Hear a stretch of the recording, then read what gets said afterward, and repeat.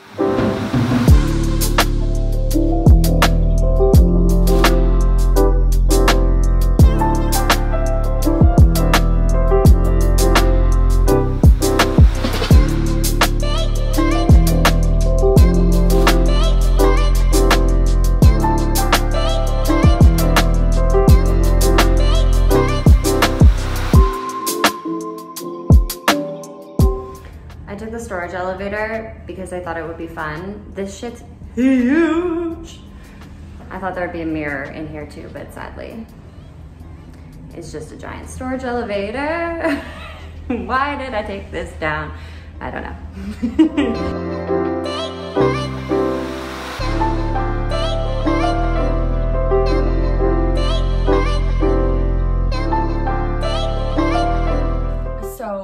first thing I got was this lovely little cactus. Of course, he has a name, it's Julian. I just thought he was cute. He's in like a little test tube, which is quite adorable. I mean, it's not a test tube. Wow, been a long time since I've been in a science class. It's a beaker. He's in a beaker, um, but I thought he looked kind of like a little rabbit with like two ears, so I thought he was cute and I gave him a name. The only problem is I have no idea if he's real or not yeah, I'm just not like a plant goddess yet. Maybe, maybe in my future. But I have no idea if he's real or not. So if you can tell just by looking at this, please let me know if he's real or not. So that's one thing I got that's gonna go up on those shelves that are basically just above my bed. Another thing that I got was whatever's in here. Another fake little succulent, I guess this is, in a terrarium. But yeah, this one's like definitely 100% fake. So I feel very confident that I can keep it looking like this. So there we go. We've got two plants, one definitely fake, one questionably fake. Let's see what else she got. Oh yeah, this is a good one. I also got this hand model that I think is used for like gesture drawings. And the sole reason why I picked it up was obviously so that I could pose it like this. So there's that. Another thing that I got was just, I guess, some sculpture, you could say. Um, it's just a woman's face. Not gonna lie, was also on sale. It was like $9. Moving on, we've got uh, uh, this bubble candle. So I've been seeing these um, on Instagram and Pinterest as well a lot. So I thought it was really cute. I'll probably never burn it so it keeps its shape. But as you can see on the little box there, it's just a little candle that kind of looks like a circular Rubik's Cube, I guess is how I would explain it. So there we go. We've got a little bubble candle that will be going on to the shelving as well.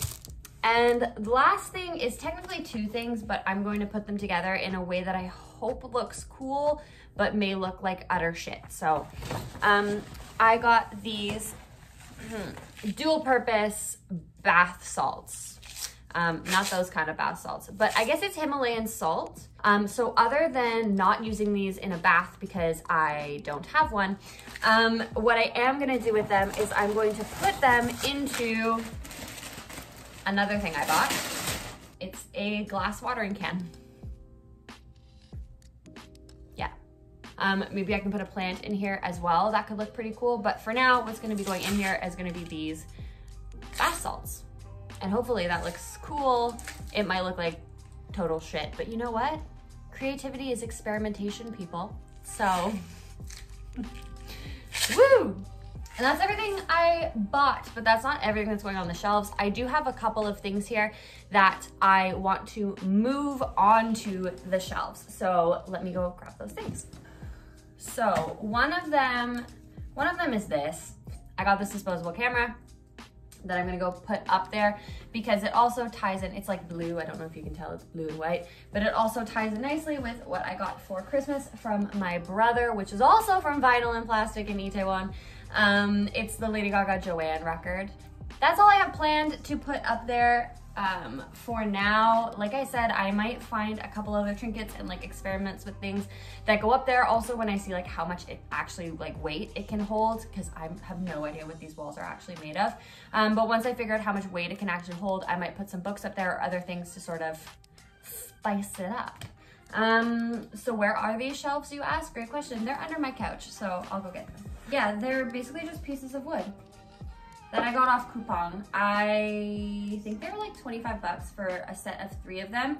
And they come with like all of the screws and um, brackets and other things you need to install them. So I'm gonna go ahead and try to um, install these shelves and we'll see how it goes. They smell so nice.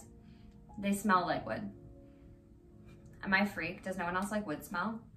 Mm. The first thing I'm gonna do is mark them out and um, I am, don't actually have a level. So I'm going to use my tripod, I guess, as a sort of level because it has a level there. So let's see if this works.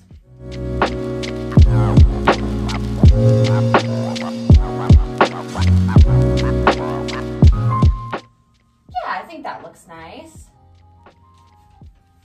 I think it looks nice, so I'm gonna get the drill now.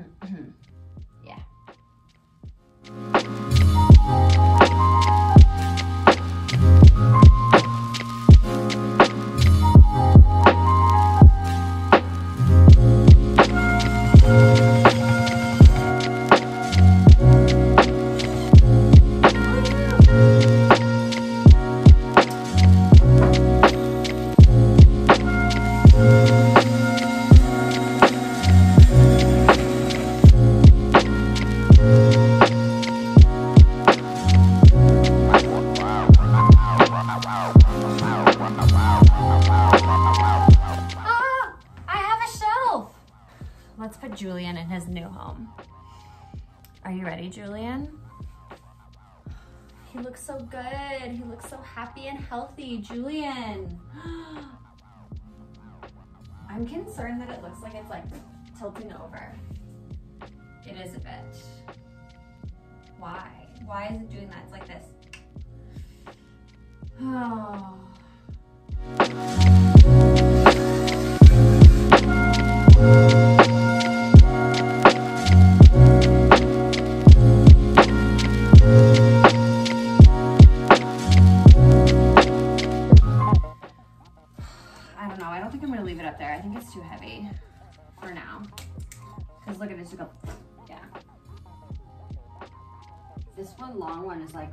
Struggling. I think I'm gonna have to wait to finish styling my shelves just because this one particularly is like bent like halfway over. Um, like considerably far down. I don't know if you can see. There it is like leaning over like this, boop, and this is how it should look, bop. So um, but obviously I wanna put more than just those two things on it, so I'm gonna have to order more brackets. But I think that will solve my problem perfectly. Once I have a bracket that's also using upward force on it, I think it will stand perfectly and then I'll have three beautiful shelves.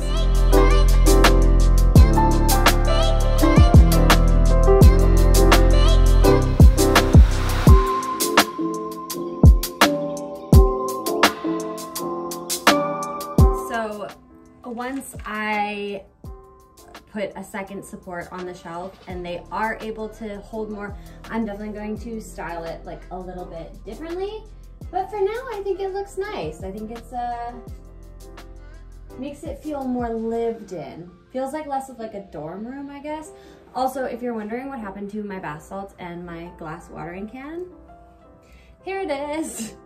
Um, this is definitely too heavy. If the Terrarium is too heavy, then this glass um, watering can with all these Epsom bath salts in it is too heavy too. But just because it's too heavy doesn't mean I don't want to find a place for it because I actually think it looks really cute. So I'm going to dump this in. Here, have some ASMR.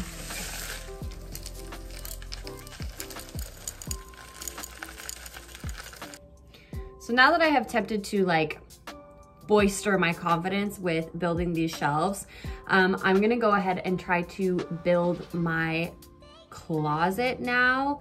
Um, my fear is that like, if that's sort of like teetering over, then for sure my closet isn't going to be like super duper strong. Um, the only bonus is that I believe my closet rails have three screws in each of them on each side, whereas this one only had like one screw in point. So there's what, two screws holding this in. There will be six on each of my rails. Um, but I think we'll find out like really quickly if this is gonna work or not. So let's get to it. what a wonderful way to be spending my Saturday. but the first thing I have to do is I'm on Coupang now. Um, and I'm looking at some options for dressers.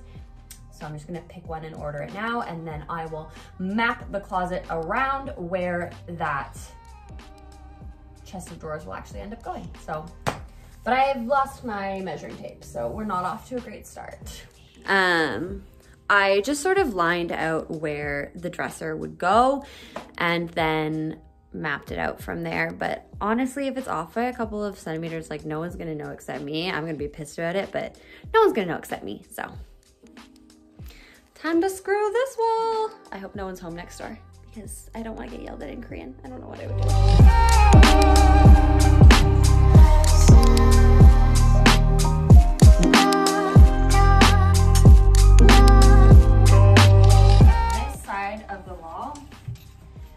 Is gonna take me a lot longer. B is gonna be a pain in my butt because the same thing, the same thing happened when I screwed in my curtains. Basically, part of this wall is made of metal. So I have to strip away the metal with smaller drill bits until I get the hole big enough to put a bigger drill bit in. So this is actually gonna take a long time and now I sincerely hope my neighbor isn't home because that was quick. This is gonna take a while.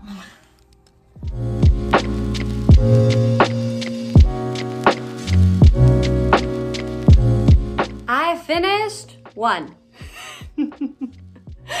I've got one in there. It takes such a long time to drill the like hole I need for the screw, um, but it's there and it feels super, super sturdy. So I'm going to hang some clothes on it and see how it looks. So the last couple of holes ended up taking me like no time at all. So I am about to put in the final rail. I'm also gonna be getting rid of that couch. It's gonna go down to the dumpster and then I'll be done. I'm gonna get rid of the couch tomorrow though because I've worked very hard today.